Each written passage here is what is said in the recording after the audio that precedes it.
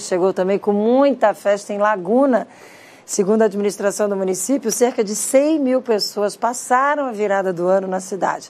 As festas públicas aconteceram no Mar Grosso e também no Farol de Santa Marta. Vamos ver como é que foi.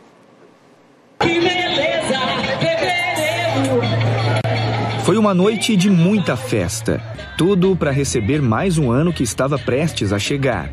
Milhares de pessoas esperavam ansiosas o relógio marcar meia-noite em ponto.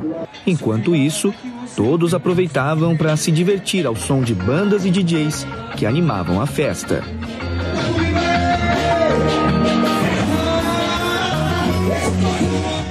A gente comprou um apartamento que fazia faz três anos hoje e com a pandemia não teve dois anos de festa. Então estamos curtindo bastante esse ano e aproveitando o máximo possível.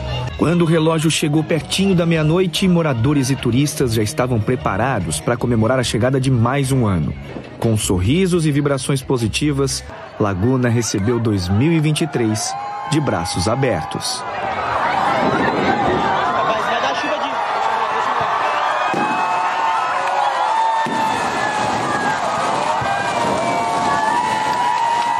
Durante a comemoração no Mar Grosso, teve muita queima de fogos. Foram quase 15 minutos ao todo.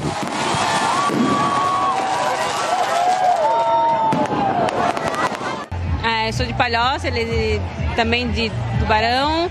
É primeiro ano que a gente está passando aqui, a gente deseja isso.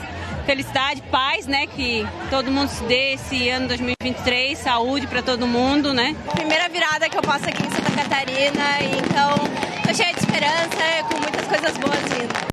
Essa família da Argentina veio passar o Réveillon em Laguna. Todos se encantaram com o que viram. Eu sou de Córdoba, Argentina, e todos os anos novos los passamos com minha família aqui em Brasil. E por pandemia, hace dois anos que não podemos volver. Muito amor em família e poder regressar todos os anos novos aqui a Laguna. Laguna estima que 100 mil pessoas tenham passado pela cidade durante a virada de ano. Sim, o turismo acaba fortalecendo e ainda tem um, um pouco a mais que é um evento que não é só para os turistas. Temos, atrai turistas, os veranistas, pessoal que tem os seus apartamentos aqui, que vem no verão e também, pro, claro, para os moradores de Laguna. 2023 chega para renovar as esperanças, os desejos e os sonhos e deixar para trás tudo o que não nos fez bem em 2022. Um novo ciclo começa com a oportunidade de sermos melhores em cada um desses 365 dias deste novo ano.